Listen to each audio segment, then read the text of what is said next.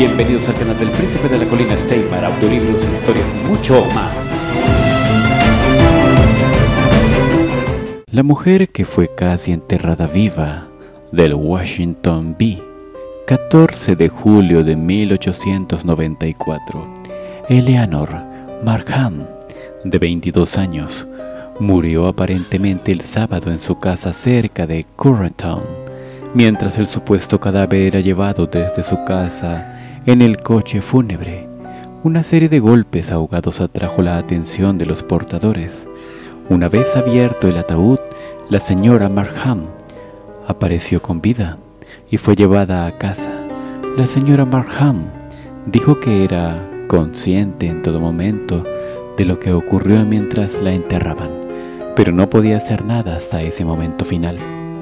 El Anderson Intelligencer de California del Sur consiguió contactar con la no fallecida Eleanor Markham para recordar su terrible experiencia. Estuve consciente todo el tiempo que estaban haciendo los preparativos para enterrarme y el horror de mi situación es indescriptible.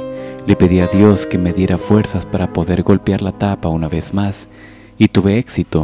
Al principio, al principio me imaginé que los portadores no me oirían, pero cuando sentí que uno de los extremos del ataúd se abría repentinamente, supe que me habían escuchado.